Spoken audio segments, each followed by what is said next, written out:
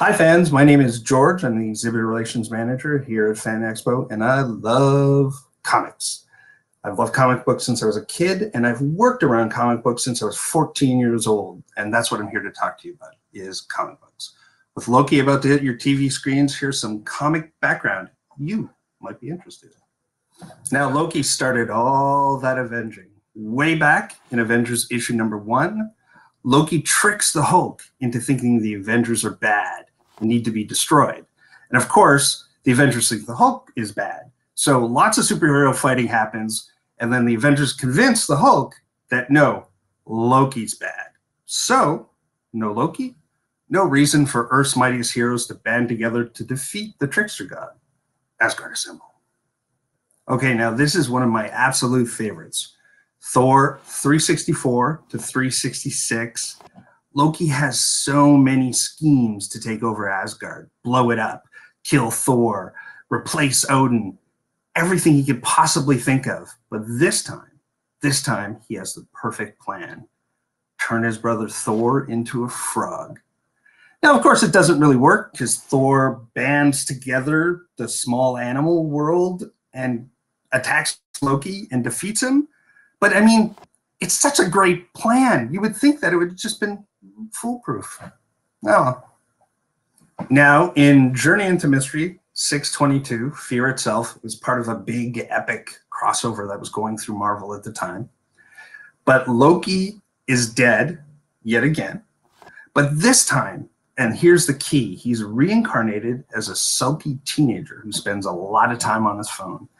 Now, going into it, you think, oh, kid Loki, that's kind of ridiculous. You know, how is that going to work? But this is some of the, actually the best Loki stuff, where Loki actually starts to grow as a person a little bit.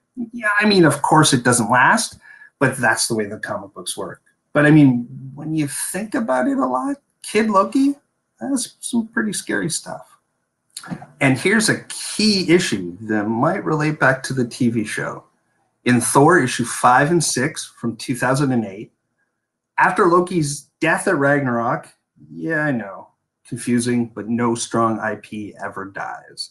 His spirit inhabits the reincarnated body of Thor's one-time love, Lady Sif. Yeah.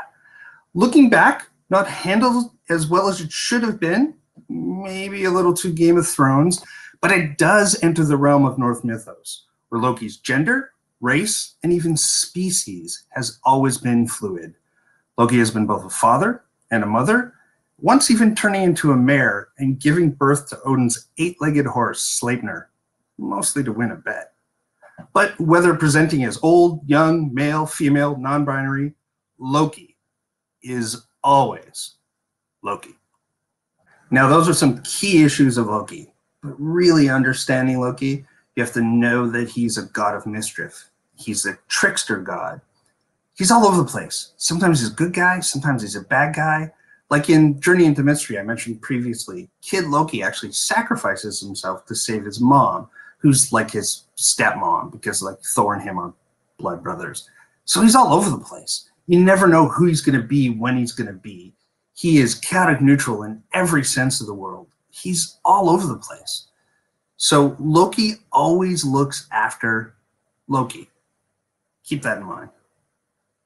Also, check out some cool issues. Thor and Loki Blood Brothers, Loki Agent of Asgard, and Vote Loki. President Loki. How bad could it be? Hey, everybody. Appreciate you watching. Subscribe. Tell me some key issues of Loki that you really, really into. Say I know what I'm talking about or that I'm a complete moron down here. And uh, we'll talk to you next time. Thanks for coming.